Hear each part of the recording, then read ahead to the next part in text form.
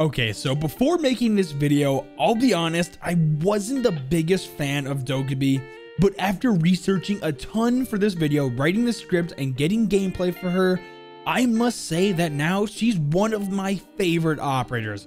You guys will see throughout the video how amazing Doki's lore is and the story she has to tell. I'm just gonna be real with you guys, this is one of my favorite videos I've ever made. Let's get right into it. So in order to tell Dokkaebi's story, we need to start early in her life with her childhood. So Doki's real name is actually Grace Nam, and well, if you want to be technical, her South Korean name is, well, this? But there's literally no way I'm going to pronounce that right, so I'm not even going to try. Moving on. Well, Grace Nam was born on February 2nd in Seoul, South Korea. Wait, this is actually hilarious because as I'm sitting here writing this script and filming this video, I looked at the date on my monitor and it's February 2nd. So I'm literally writing Doki's lore story on her birthday. So join me guys in wishing Grace Nam a happy birthday in the comments. I'm sure she'll appreciate it. Anyways, she was born into a family in South Korea that kind of let Grace do whatever she wanted. And to be honest, Doki was a troubled child and looked the part as well. She looked like she was going to cause trouble and in fact caused lots of trouble in her childhood. We'll see how this affects her really throughout her whole life, even leading up all the way to when she joins Team Rainbow. So Grace was a rough child and would often play soccer with the neighborhood boys. No problem there, right? Except whenever she got mad, she'd start throwing fists and getting into tons of fights with them. Again, a troubled child. But the worst thing really is her attitude and disrespect to figures of authority like her teachers at school. When Doki wasn't causing trouble, she would scavenge or buy spare parts and barricade herself into her room to build computers. This was honestly her true passion. Creating a technology out of nothing fascinated her and would be the driving desire throughout her life. So Doki's attitude and behavior got to the point to where she desperately needed to change if she had really any hope of being a successful person. Her teachers actually forced Grace to conform to expectations and soften her image. They made her not look like a troublemaker anymore in an effort to help her believe she can do better. Grace bought into this act as really the only option to save herself. To better play with and manipulate preconceptions, she bought fake glasses and adopted the geek girl persona. Yeah, I had no idea that Doki doesn't actually need glasses, she just has them for the part, and she plays the nerdy girl very well and her love of electronics really helps convey that persona. Okay, so this change in extreme attitude really paid off because Grace started performing very well in school and obtained a scholarship to the Korean Advanced Institute of Science and Technology. But after graduating college, she decided to enlist in the Republic of Korea Army or ROK for short. She was assigned to the 5163 Army Division, but to be honest, she kind of hated it because the army saw Doki as just a nerd with no real skills besides tech. So they threw her in an office as work. So Grace left the office because she was tired of it and trained for the 9th Special Forces Brigade, also known as the Ghost Corps. She trained so hard that she actually landed herself a position with the Ghost Corps, exceeding everyone's expectations of her. While there, she trained even further with mountaineering, survival techniques, and the art of guerrilla warfare.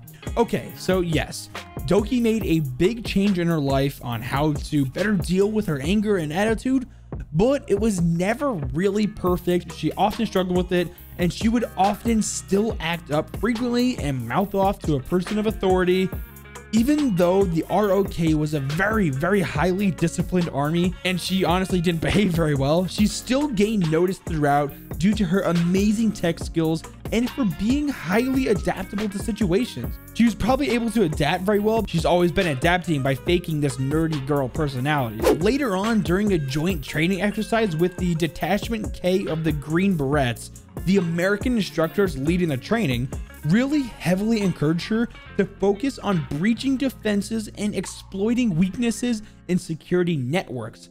Also, they really pushed for Grace to try joining the 707th Special Mission Group the White Tigers. Amazingly, she got the position, and this was a much better fit for Doki and her skills.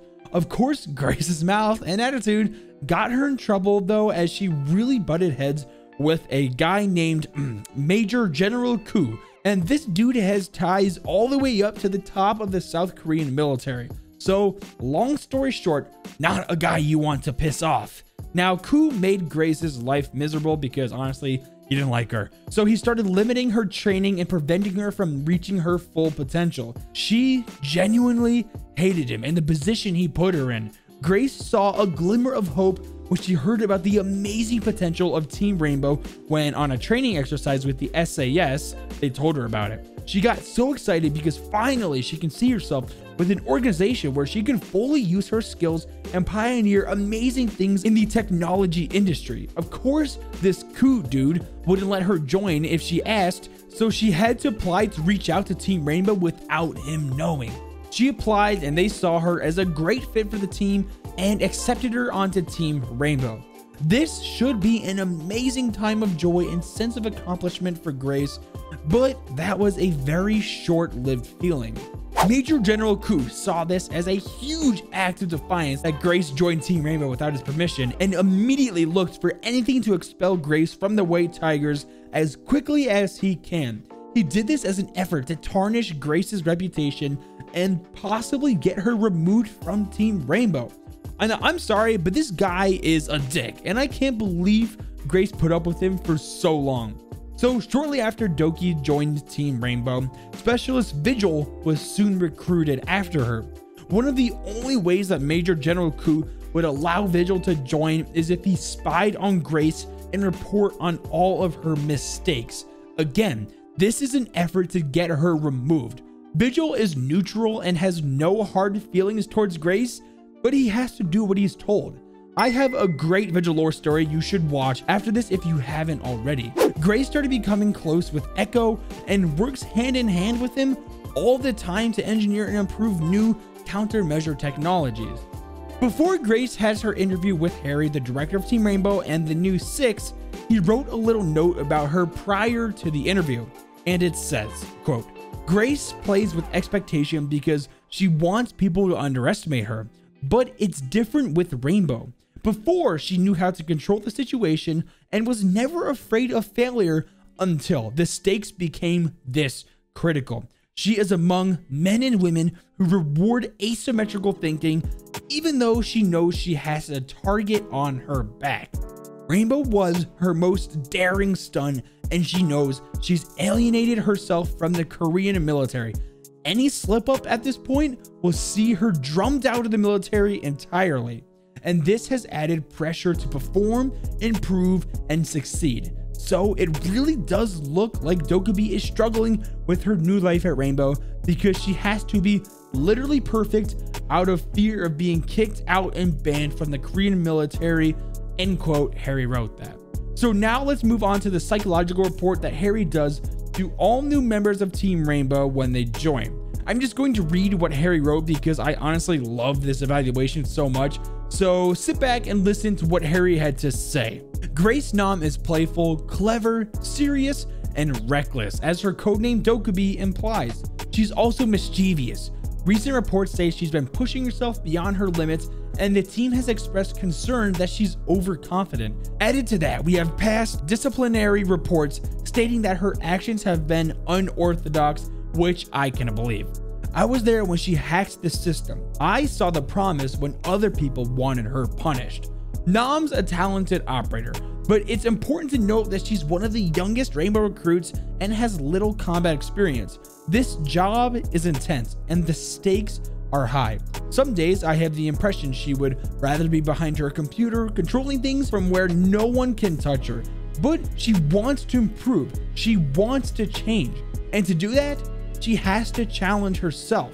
I'm certain the overconfidence is about fear. She's afraid she doesn't belong, that she isn't good enough. As for past disciplinary hearings, the shortcomings are with the commanders, not with Grace. A talented hacker isn't just someone who's good with code, they're a creative thinker with the ability to see connections the rest of us can't. Yes, there's recklessness. Yes, there's an element of bravado. But whatever else people may see, they must also admit that there's a method to Nam's madness. When I asked about her childhood, she boasted of schoolyard fights and described the extreme academic pressure she faced.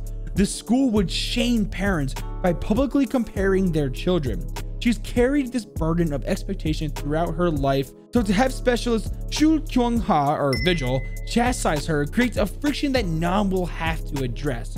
She told me her grandparents introduced her to Buddhism when she was little and that she's recently begun visiting the temple again. I'm reassured. This is her way to cleanse her mind and spirit. Her pursuit of inner balance will allow Nam to achieve her full potential. Her bluster may irritate operators such as specialist Habana, but I must say, let her be. End quote. Wow, this was absolutely incredible. See what I mean, guys? How I said that Dokkaebi is one of my now favorite operators now? Oh, and by the way, when she got her call sign Dokkaebi, it actually is a reference to the folklore in Korean cultures of a supernatural creature called the Dokkaebi. It's a creature that uses its powers to interact with humans, either by playing tricks on them or by helping them. A very mischievous supernatural being that honestly fits Grace very well. Okay, so I know the video is getting a bit long here, guys, but there's just so much to talk about for Dokkaebi. I love it so much, and I'm trying not to leave out as many details as I can. Hang on, guys, we're almost at the end of the video. Stay with me. There isn't much to talk about the device evaluation for Dokkaebi's Logic Bomb, but there are a couple cool parts in it that I want to go over. So besides the talk about how she uses this weird coding to hack the enemy's gadgets and cameras, she also talks about on why she only lets the hacks go for a couple seconds before ending it, making their phones turn off. The reason is that she doesn't want anyone to know really what her coding system is so they can study it and develop anti-hacking software for it. So she developed it to erase itself after a few seconds of hacking, so it disappears from the device, leaving no trace. This is brilliant, actually. Also, when the hack goes off, the enemies get a message on the device that displays these Korean words, which roughly translate to don't mess with me. I also thought this was pretty funny. Also, she talks about how Mute developed a way to intercept her signal when close enough to one of his jammers. Now, this made Dokkaebi a little frustrated because Mute did this, but fueled her to research a way to bypass his jamming. So far, she hasn't figured it out yet, but she tells Mute to look out because she's coming for him. She will find a way to make it so his jammers can't mute her logic bomb hacks. Okay, so as we know, Grace never really found out a way to fully deal with her anger in a healthy way. We can see this come to life again in the Hammer and the Scalpel cinematic Ubisoft release in 2017. Honestly, this is one of my favorite ones, and we can see Thatcher and Dokkaebi at the very end of the training exercise with the clock ticking down. You have two people with two extremes of technology teaming up. Thatcher, of course, hates tech and think it ruins people and makes them too reliant on their devices. I mean, come on, fucking laser sights, right? While Dokkaebi is all about technology and is a pivotal part of how she executes operations. So, with the clock ticking down, we can see Dokkaebi spending some time to hack the enemy's phones but there honestly wasn't enough time for it, so Thatcher got really frustrated with her, just threw in the EMP and finished the training exercise himself. Now, in typical Thatcher way, he gets angry, and he pretty much scolds Dokkaebi for this mistake, and of course she mouths off and fights back. Well, this probably shouldn't be something you should do to Thatcher because he just proves his point further. Doki goes to Harry for guidance, and if you want to watch the cinematic, you can hear his words of wisdom to comfort Grace. I bet she was probably very worried she might get kicked out and therefore removed from the Korean military as well, ending her career. But she didn't, and a couple years later at the very first annual Tournament of Champions, her team made it to the finals along with Thatcher, Sledge, Blitz, and Habana. She trained so hard and made an amazing impact on the round when she literally saved Thatcher by putting a non-lethal round in Cavi's head literally as she was about to choke out Thatcher. Thatcher's lesson in the scalpel and the hammer cinematic paid off as Doki learned from her mistakes and acted very fast to save Thatcher without her technology. Just good old fashioned bullets, quick thinking, and we all know that's what Thatcher loves. And a six inch blade. well, guys, I'm sorry for keeping you guys for so long. There was just so much about Dokkaebi that I want to talk about, but I guess I got a little carried away with the length of the video. I really hope you guys enjoyed the video, and if you made it to the end, let me know by commenting, Jeppy is my dad, so I know who the real fans are. Make sure to leave a like and subscribe with notifications if you're new. Now, with all that being said, Jeppy out!